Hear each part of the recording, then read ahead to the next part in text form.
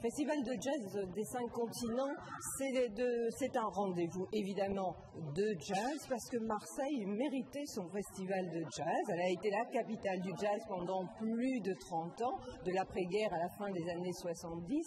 Et, et nous avons continué depuis toutes ces années à en faire un événement jazz incontournable maintenant.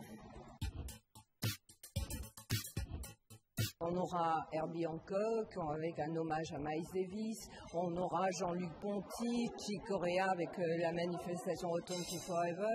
On aura Matt qui est un des plus grands pianistes de jazz. Mon petit Alexander aussi qui fait partie des cinq plus grands. Euh, tellement de monde euh, que je Et puis une soirée peut-être aussi exceptionnelle, un peu différente, celle du samedi soir, avec Larry Graham, trombone shorty euh, et des Marseillais, Campaoré. Euh. je pense que celle-là sera aussi une soirée qu'il ne faudra pas manquer. Ce festival débutera et débute toujours là, après le 14 juillet.